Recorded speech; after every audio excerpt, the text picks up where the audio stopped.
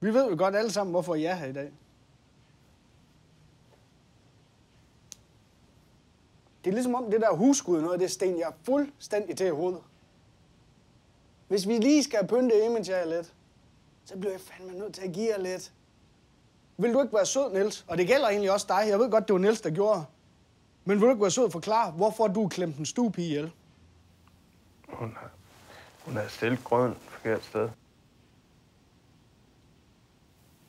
Ja, hun havde bare, ja, hun havde ikke givet os råd. Så er det bagefter, vi finder ud af, at den stod et forkert sted. Ja, det havde hun også. Altså, der er en stuepige, der er stillet grød frem til jer. Det er forkert sted. I vælger så panik og klemme liv ud af en menneske. Jeg kender godt jer to, jo. Du skal ikke sidde og spille heldig, Niels. Synes I, det er en hyggelig, julet ting at gøre? Der er sket noget på 350 år. Folk løber ikke rundt og klemmer liv ud af hinanden derude. Og må, må I klemme til, at jeg kommer lidt til skade. Vil I det her? Ja.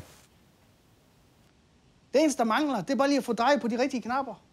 Lidt op for hygge, og lige en par tand ned. Med det der med at slå folk ihjel. Hvad siger I til? Skal vi ikke det? Ja. Skal vi ikke aftale det? Pissegodt.